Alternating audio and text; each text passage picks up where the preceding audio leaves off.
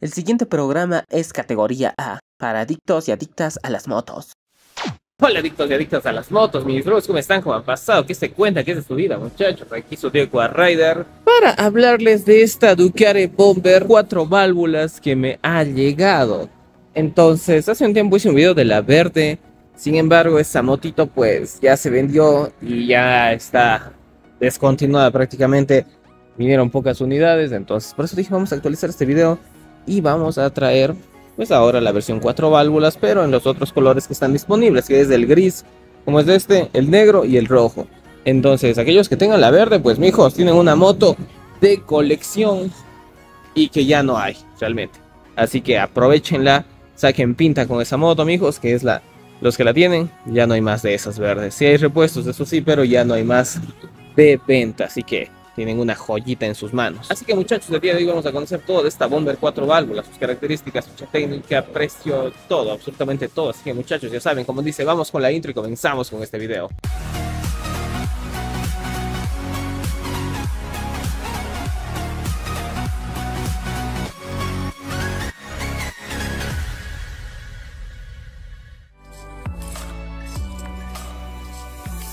Muy bien, hijos, tenemos aquí estas dos motoras Así que vamos a empezar a hablar de estas niñas. Tenemos aquí por un lado esta moto que ya viene con el motor cuatro válvulas como les comenté. Allí lo pueden apreciar. Es un motor totalmente diferente, un motor distinto a los convencionales que ya se han visto. Así que, a ver, el precio de esta moto desde ya les digo, está saliéndoles en 2.500 dólares. Ya matriculadita con todo, su nombre, todo. El precio ya incluye IVA, no tienen que pagar nada adicional. Así que pilas con eso, mijos.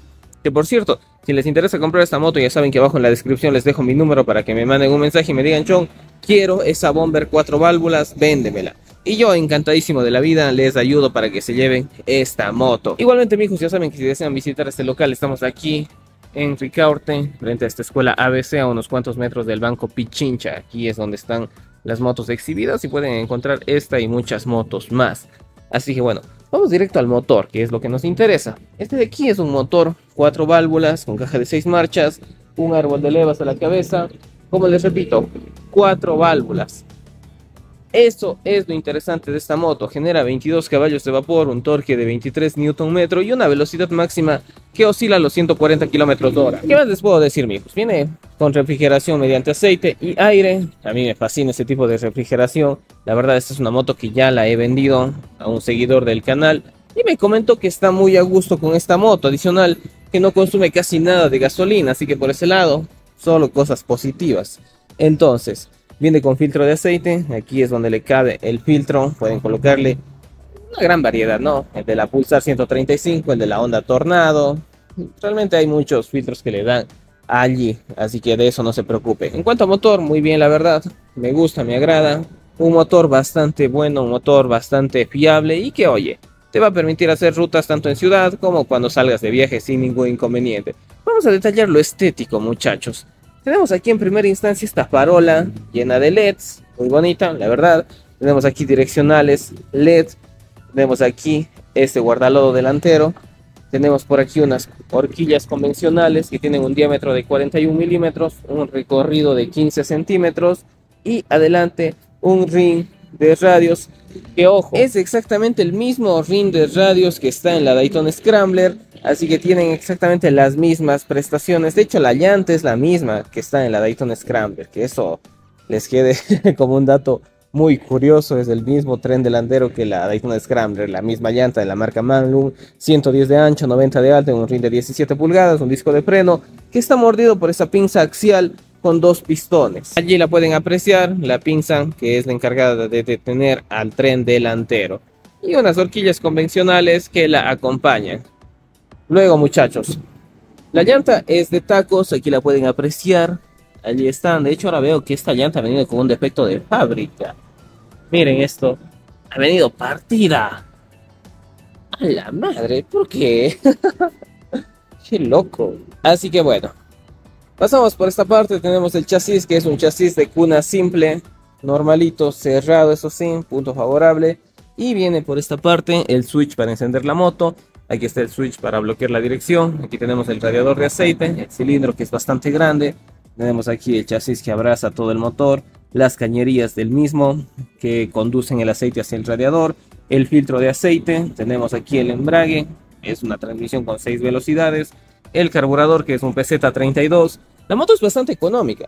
Esta moto le pueden poner cualquier gasolina y adicional, pues con un tanque lleno te está rindiendo entre los 350 kilómetros sin problema. Entonces es bastante económica. Por galón te está rindiendo entre 110 kilómetros gracias a ese carburador. Así que oye, puntito muy favorable. Luego amigos, tenemos por aquí pedal de freno posterior, los estribos del conductor, los estribos del acompañante, el logo que dice Exterra Edition, porque cada moto, cada color trae sus aquí su nombre. Esta es la Exterra Edition. Tenemos aquí el tubo de escape que dice Ducare, un tubo elevado.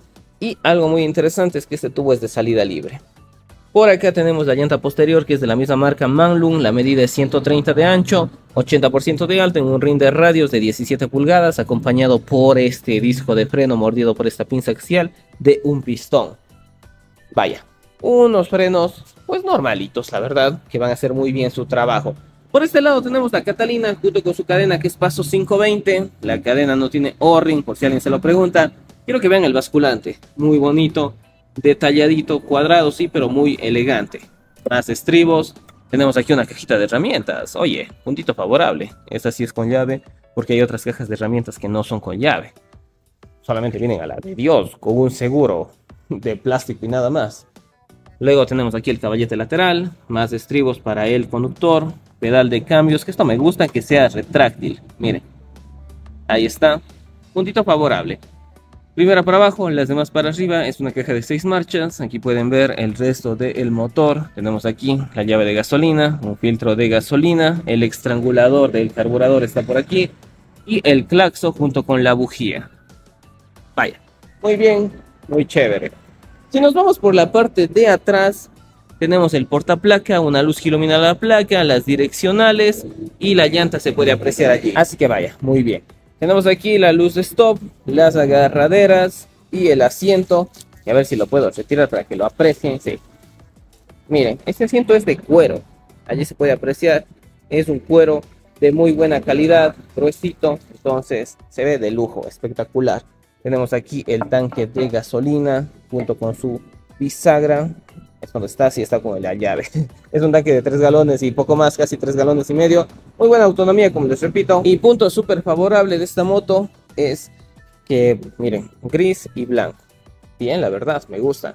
En cuanto a mandos, tenemos aquí el embrague, luz de hacer señal, luces guía, luces principales, altas y bajas, direccionales y el claxo. Tenemos aquí un adicional agregado que es para que carguen aquí su teléfono. Tiene dos puertos y aquí un indicador de voltaje. Tenemos por acá el freno delantero, el acelerador, corriente y el encendido eléctrico. Ojo con esto. Aquí yo diría va el espejo, pero no, porque de este lado no tiene para poner el espejo.